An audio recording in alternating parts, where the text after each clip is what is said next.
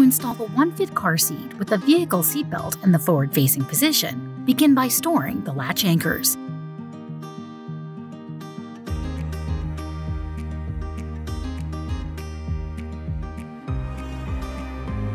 Then locate the top tether storage on the back of the OneFit.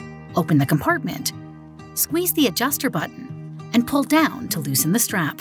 Then unhook the tether clip and close the compartment. Place the OneFit on your vehicle seat in forward-facing position.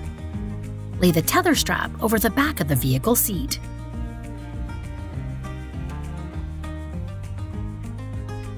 Check that the headrest of the vehicle seat does not interfere with the headrest of the OneFit, and that the base is flat on the vehicle seating surface. Refer to the bubble level indicator. Make sure the bubble is between the two lines for forward-facing installation. Readjust the recline as necessary. Loosen the 5-point harness. Then, unbuckle the chest clip and crotch buckle. Lift the padding on the back of the seat. Unsnap the lower backrest panel.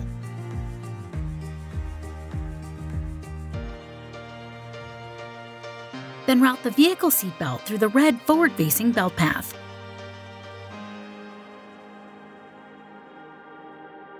Pass the belt across the back and down through the forward-facing belt path opening on the opposite side of the OneFit. Buckle the seatbelt.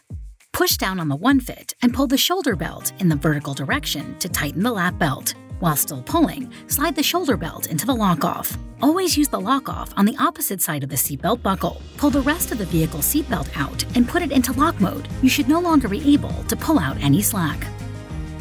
Reattach fabric backrest panel.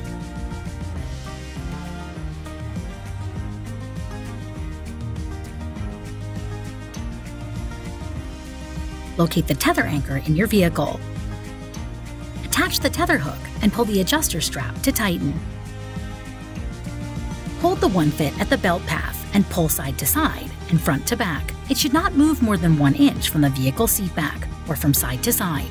Check that the bubble is still between the two lines for forward-facing installation.